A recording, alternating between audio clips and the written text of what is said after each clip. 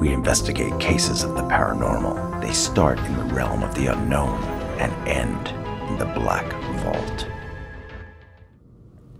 What is a ghost? Is it the soul of a dead person, a shadowy disembodied spirit haunting the living? If so, what kind of ghost might emerge after the death of someone evil? Today's story concerns the strange occurrences surrounding a desperate woman, a dead body, and a house full of buried secrets. Let's open the Black Vault and investigate.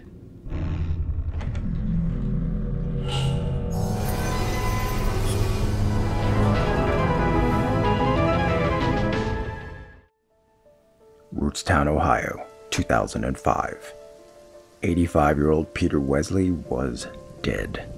In reality, he's had one foot in the grave for the last 20 years, but had been kept living and breathing by his put upon 35 year old daughter, Julia. She stood over her father's lifeless body and felt relieved. More than relieved. She felt free for the first time in her life. A life that, up until now, had been in service of her ailing father. As of 8:30 p.m., that service had officially ended. But his withered, gnarled body had to go now. It had been just the two of them for as long as she could remember. Julia never knew a single solitary day when she was alone in the house. It had always been her and him. As long as his body still required her care, it wasn't over. Julia picked up the phone to call Dr. Harris. It took all her strength not to explode into maniacal laughter as she described finding her father dead, having died peacefully in his sleep. She requested the body be removed from the house immediately. Actually, it was more like a demand. To her frustration, Dr. Harris informed Julia that it would be impossible. Roads to the house were flooded. Neither him or the hospital would be able to reach the house until the storm passed. It had rained nonstop in Rootstown for three days. The Wesley house sat on the outskirts of town, flanked by five miles of thick forest.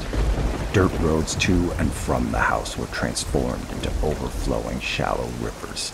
The Wesley house always seemed to be hiding away from the world. That week, it was practically cut off from civilization.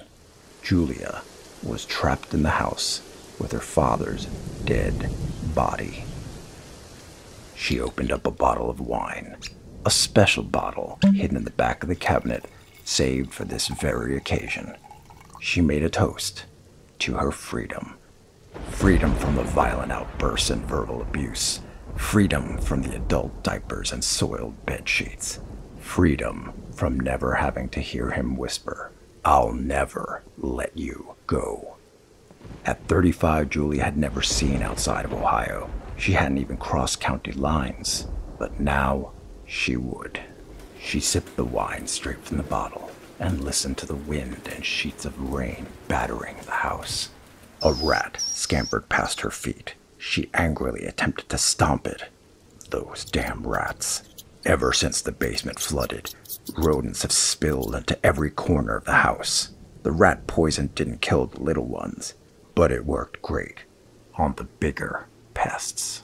That's when she heard it. The sound echoed above her, then again. She wondered if a strong gust of wind had pushed a window open.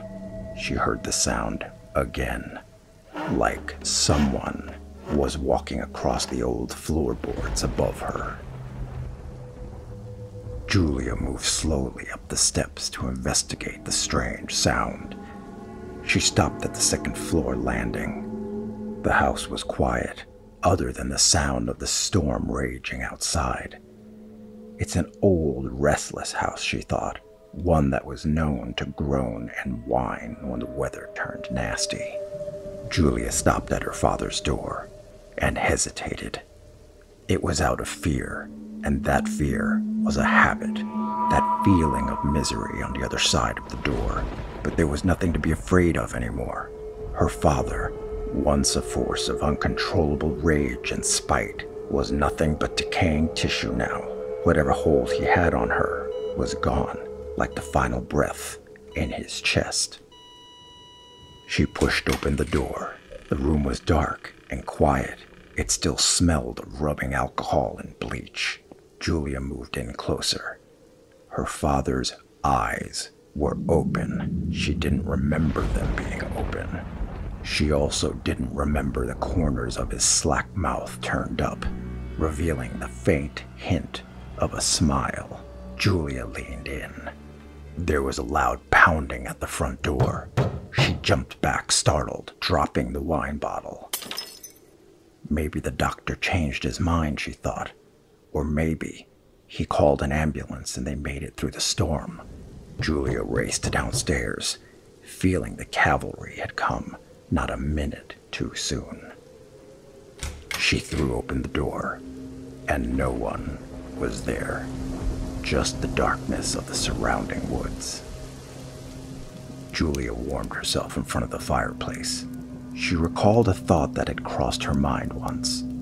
She didn't remember exactly when. It must have been one of those especially bad days when her father seemed to relish in her suffering like it were a game and only he knew the rules.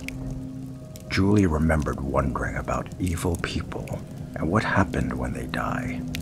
Would a black soul leave an equally dark stain on the world, like a slimy residue? Or maybe evil can't ever truly die.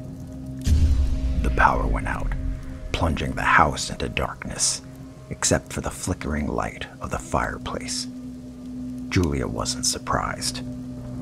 The house's electrical wiring was ancient, and the old man was too cheap to replace it. However, thanks to Peter's reliance on life saving medical equipment, a gas powered generator had been installed in the basement for emergencies. Julia always hated the basement. It was like a damp, dark tomb. She would daydream sometimes when her father could still walk that he would trip on the steps and tumble to the concrete floor, breaking his neck instantly. Then she could nail the door shut and leave him down there to rot. Or maybe the rats would have at him. With flashlight in hand, she sloshed her way to the far end of the basement where the generator sat.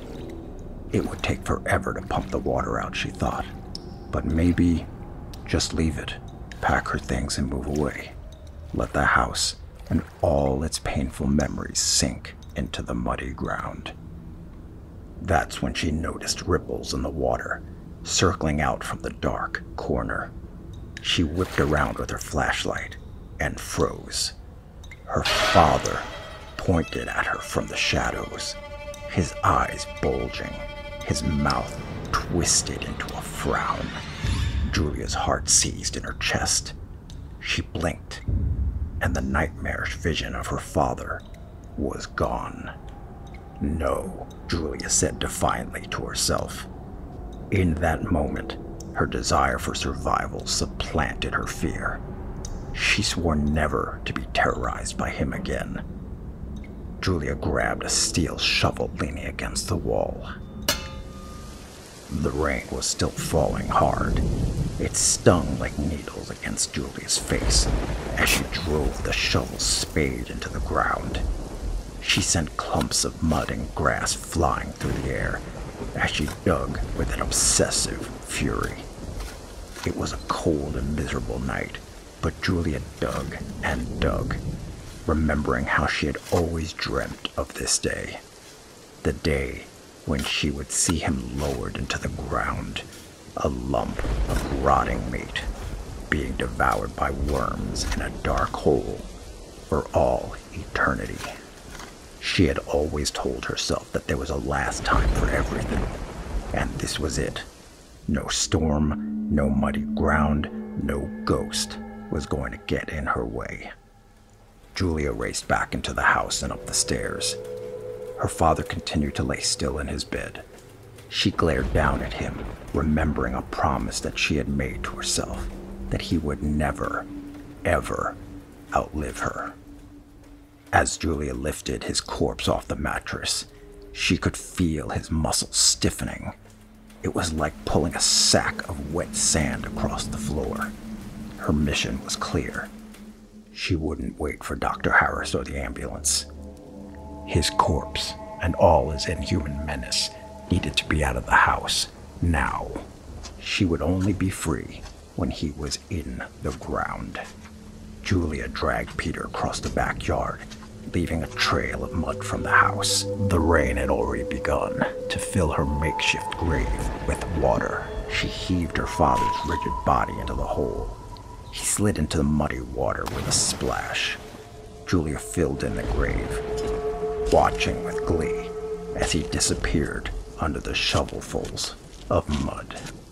She stood back, taking a moment to appreciate the mound of dirt that stood between her and her dead father. Julia hoped his memory would be as easy to bury as his twisted body. She turned to head back to the house when something grabbed her leg. She choked on a scream. The torrential storm that had engulfed Rootstown stopped two days after Julia placed that call to Dr. Harris. With the roads drying, he was finally able to visit the Wesley house. Julia hadn't been answering the phone, so he was concerned. The front door was open. Dr. Harris called out to Julia, but received no response. The house was quiet.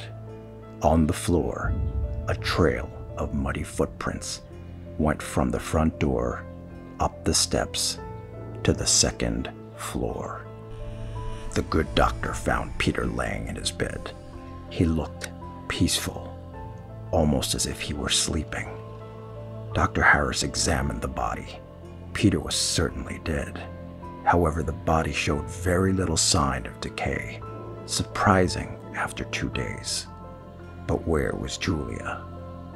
Dr. Harris investigated the property and eventually found her buried in the backyard.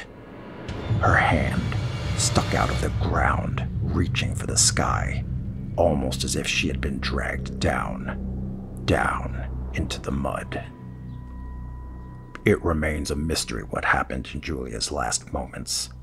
Dr. Harris reported her death as a freak accident but the look on Julia's face, the horror. He had never witnessed anything so terrifying in his life, and it was not something he would soon forget. One last item of note Dr. Harris performed an autopsy on Peter. A fatal quantity of rat poison was found in his bloodstream. A ghost can be many things, a messenger from beyond, a harbinger of events to come, and in Julia's case, perhaps a promise kept that he would never let her go. Join me next time for another mysterious case of the paranormal that emerged from the depths of the unknown and currently resides in the Black Vault.